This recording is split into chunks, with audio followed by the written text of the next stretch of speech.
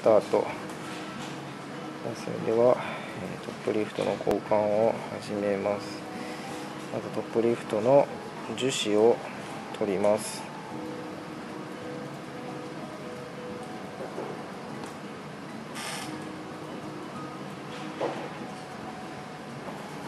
樹脂を取りましたと。はい。そうすると金具はんな感じになってます。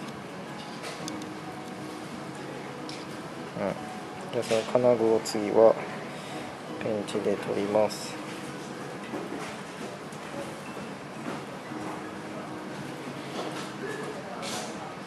あ。もう構えそれでいこう。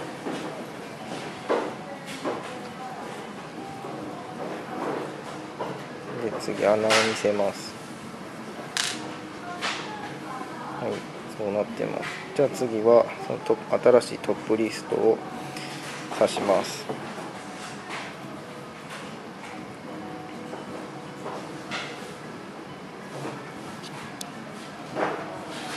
はい。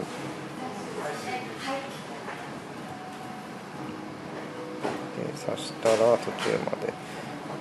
缶コーヒーを持ってきます。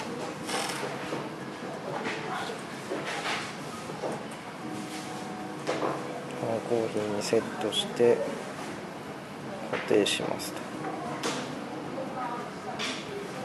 で固定してペンチで叩きます。ペンチじゃないな。金槌で。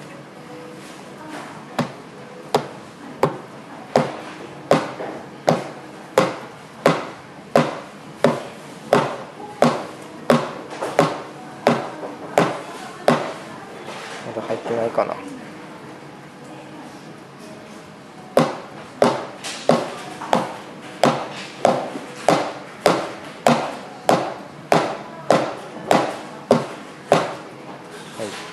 い入りましたと。金槌置いて缶コーヒー取ってでストラップがそれがずれてないか見てずれてる場合は調節しますと。で調節して調節し終えたら完成です。